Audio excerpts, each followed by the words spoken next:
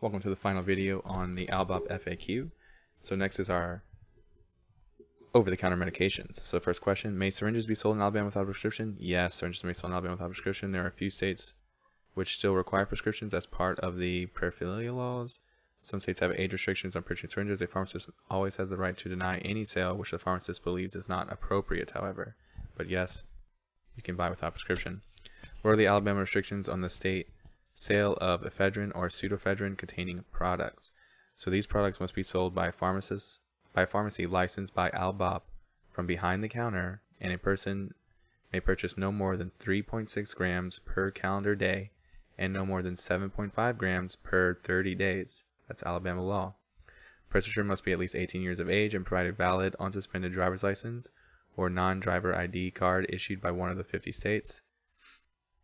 Does Alabama law require a wet signature or hand signed signature on prescriptions given to the patient for non-controlled drugs? Uh,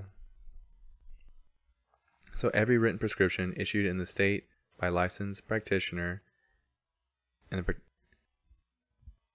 so, and the practitioner shall communicate the instructions to the patients to the pharmacist by signing on the appropriate line.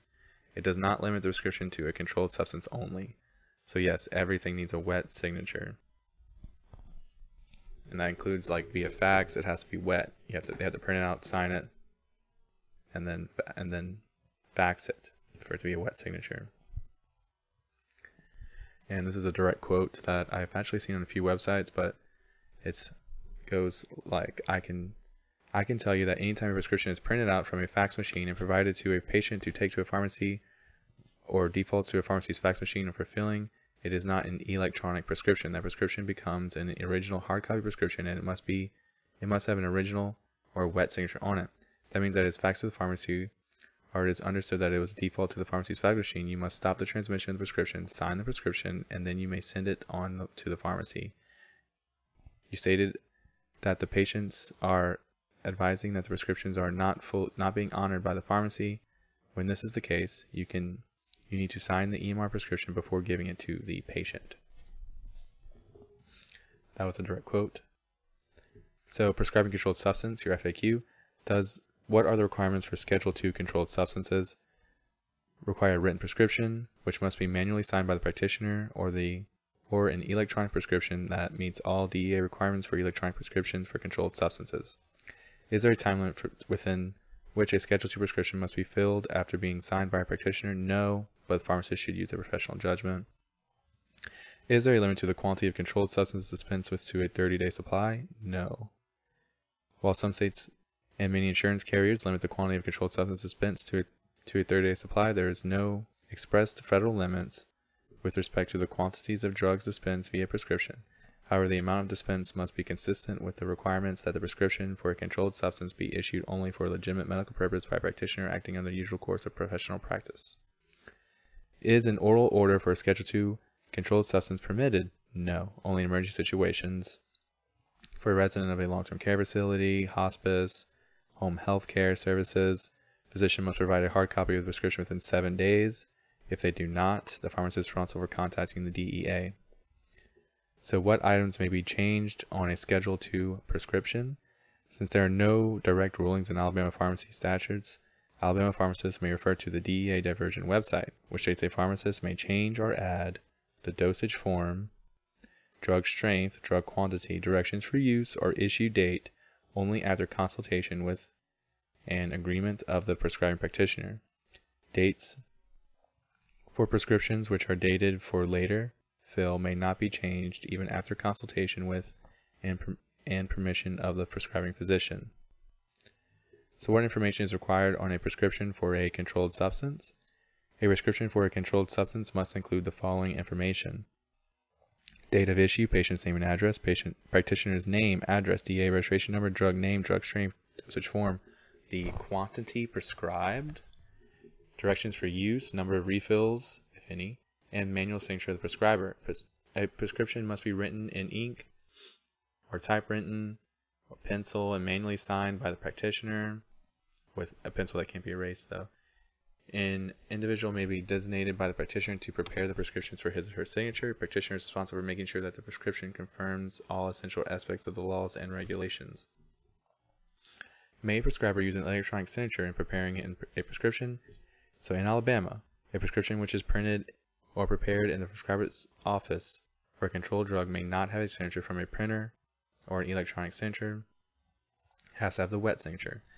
Can controlled substance prescriptions be refilled? Schedule 2 cannot be refilled.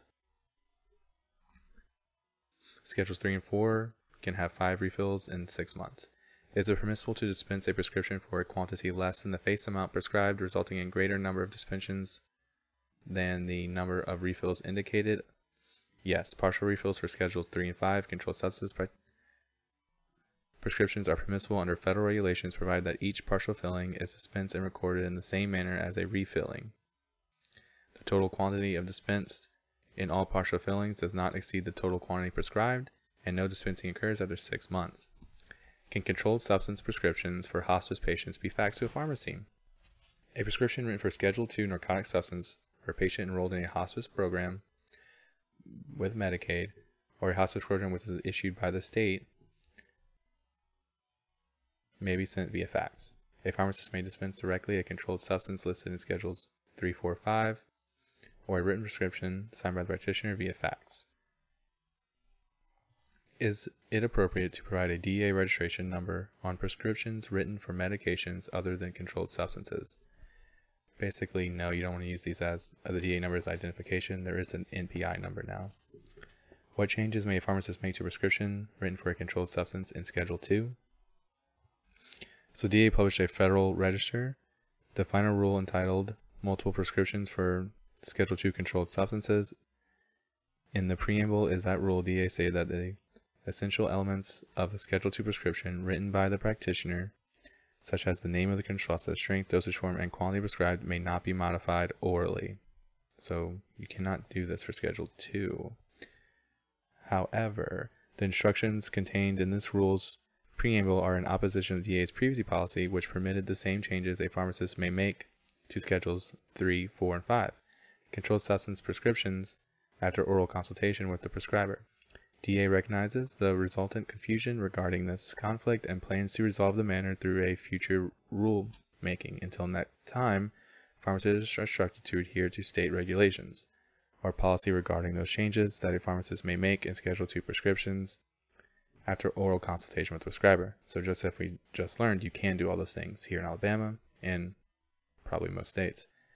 So therefore, when information is missing from or needs to be changed in a Schedule 2 controlled substance, DEA expects the pharmacist to use their professional judgment and knowledge of state and federal laws and policies to decide whether it is appropriate to make changes to that prescription, in which case you probably would call and make them.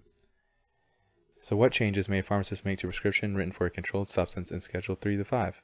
A pharmacy may, may add, change the patient's address upon verification. The pharmacist may add or change the dosage form, dose, drug strength, drug quantity, directions for use, or issue date only after consultation with and agreement with the prescribing practitioner. Such consultations and corresponding changes should be noted by the pharmacist or the on the prescription. Pharmacists and practitioners must comply with the state and local laws, regulations, on policies prohibiting any of these changes to controlled substance prescriptions.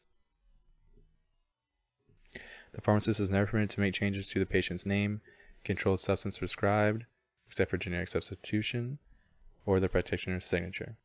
Can a practitioner prescribe methadone for the treatment of pain? So it, there is no law restricting the prescribing, dispensing, or administration of Schedule 2, 3, 4, 5 narcotic medications, including methadone, for the treatment of pain. If such treatment is deemed medically necessary by the registered practitioner acting in the usual course of professional practice. So Remember that is a drug commonly used for narcotic treatment programs. So if it's used for addiction, they do need that DEA special number. Can an individual return his or her controlled substance prescription medication to a pharmacy? No. You'd want to use like a take back place or something along those lines. Under what conditions may a controlled substance prescription, C3 to C5, be issued electronically? Yes, you may accept e-prescribed controlled drugs in order in order for a controlled prescription to be valid electronically, both the prescriber and pharmacy must have DEA approved software. So what changes can be made to a C2 prescription? So federal, when information is missing from or needs to be changed on a Schedule II controlled substance prescription, DEA expects pharmacists to use their professional judgment and knowledge of state and federal laws, policies to decide whether it is appropriate to make changes to that prescription. For state, a pharmacist may add or change the patient's address upon verification. A pharmacist may add or change dosage form, drug strength, drug quantity, or directions for use or issue date only after consultation with an agreement with the prescribing practitioner. Any consultation and changes should be documented by the pharmacist or the prescription. So what changes may be made to a C3 or C5 prescription? So C3, 4, and 5, a pharmacist may add, change dosage form, strength, quanti quantity directions, issue date, or patient address only after speaking with a prescriber and documenting on the prescription.